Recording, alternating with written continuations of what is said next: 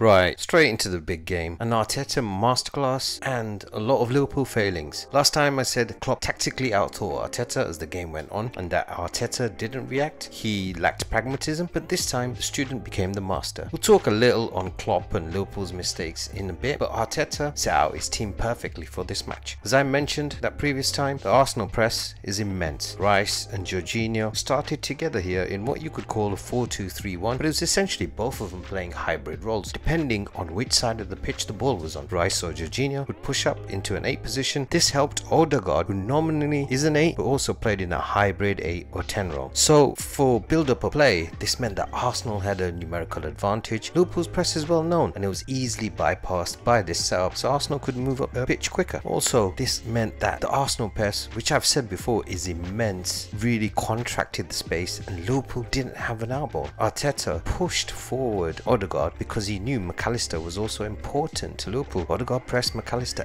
every single time. And, you know, despite this, the defensive midfielder was probably the best player in Liverpool's team, the only midfielder who provided an outlet and was trying to be creative for Liverpool. This contraction of space made it diff difficult for Liverpool to get out when Arsenal had the ball. And you could see Rice or Jorginho being like a sniper. You know, they had their eyes on the ball. They could see who they had to press. And it was just a brilliant setup by Arteta. Odegaard was immense. Don't know what Gary Neville sees sometimes, but he was the best player in the game. We don't have number 10s in top sides anymore, but he operated like a high level elite 10 yesterday, finding the spaces, incisive passing, just a lovely footballer. Rice and Jorginho set the base and he was the conductor exploiting. When the second half started, Teto was pragmatic, once again just like with his starting lineup. Not sure if you noticed, but Trent didn't invert in this game, he was on the right hand side of the pitch and towards the end of the first half was starting to get space on that side and whipped in quite a few dangerous crosses. So Arteta withdrew Zinchenko who was inverting sometimes in that first half and brought on a more defensive player, Kiwior, to negate that threat. Trent, as it turned out, was not match fit and didn't really contribute to the game, but this was a smart move by Arteta. He knew Arsenal were the dominant team, but also recognised that Trent was starting to get more influence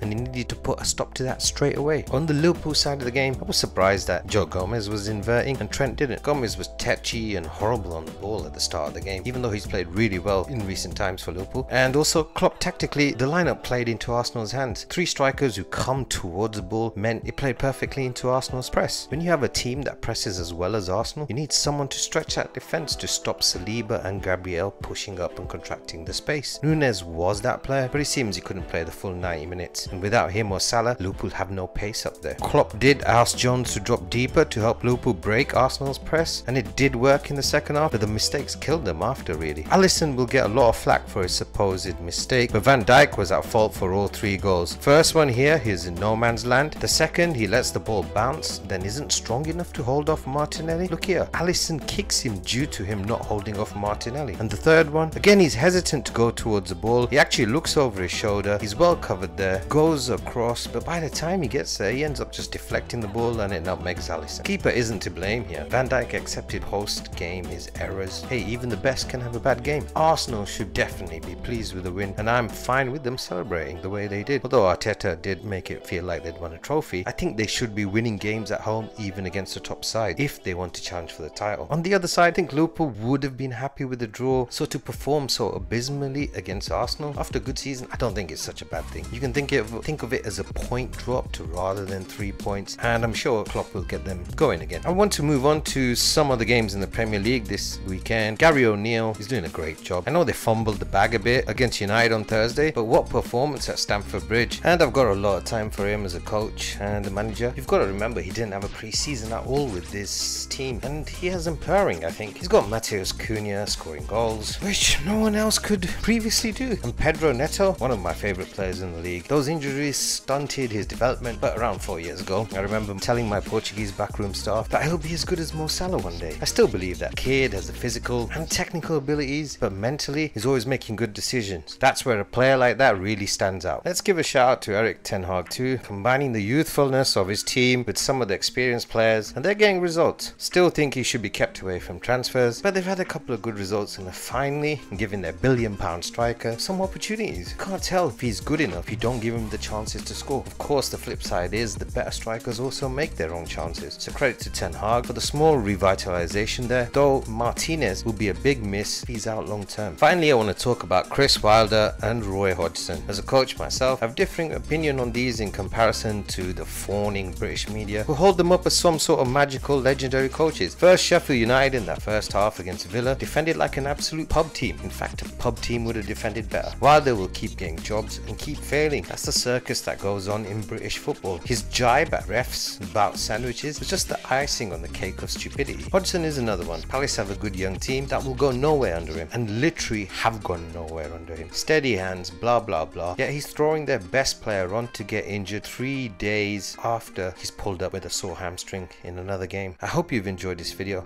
Don't forget to subscribe and like and as always, thank you for watching.